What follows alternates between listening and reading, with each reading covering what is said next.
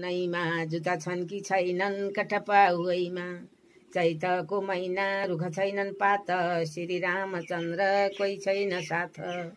वैशाखको महिना खुदे पानी खानी श्री रामचन्द्र कहाँ हो नि जानी।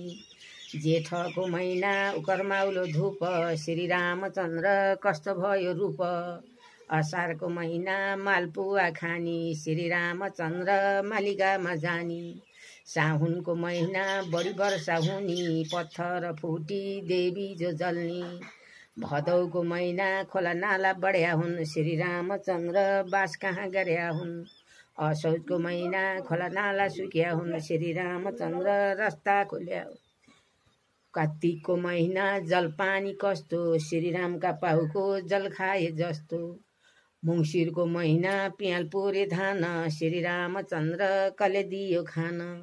पुषको महिना बढी ठन्डा हुने सम्झेर ल्याउँदा मन मेरो रुनी। माघको महिना खिउ खिचडी खानी श्री रामचन्द्र मथुरामा जाने।